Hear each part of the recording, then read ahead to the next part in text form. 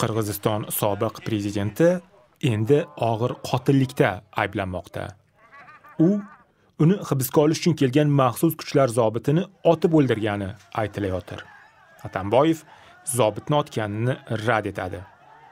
Lekin yana bir ayblov o'rtaga chiqyapti. Xavfsizlik xizmatiga ko'ra sobiq prezident atamboyev hukumatni ag'darmoqchi bo'lgan. 500 человек окружения. Собиралась, и в основном собирались дети, женщины, старики. Для чего? Вы это прекрасно понимаете. Ему нужна была кровь. И тогда, обвинив власть, тогда он мог совершить госпереворот.